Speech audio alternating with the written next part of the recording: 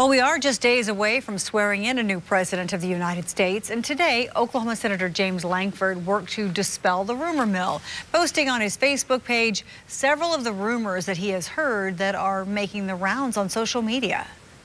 Days after the horrific attack on the United States Capitol January 6th, the senator says these rumors are making many people even more worried and fearful. First, there were buses of Antifa members that came to the Capitol for the protest. The senator says this is false. While you see buses pulling up to the Capitol, they were actually empty buses to evacuate staff and members of Congress trapped in the buildings. Another rumor is the federal government is about to declare martial law.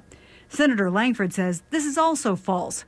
Under federal law, a president can't declare martial law without a public declaration. This can't happen secretly.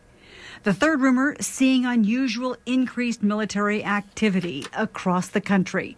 This is normal around a presidential inauguration.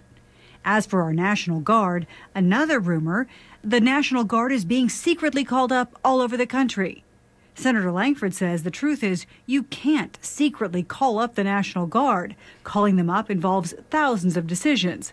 Right now, National Guard members from multiple states, including Oklahoma, are being asked to help preserve national security during the transition of power and the area in and around Washington, D.C.